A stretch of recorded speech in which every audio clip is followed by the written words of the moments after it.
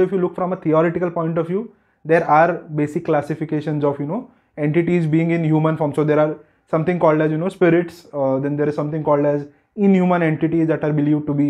you know harming or their entire motive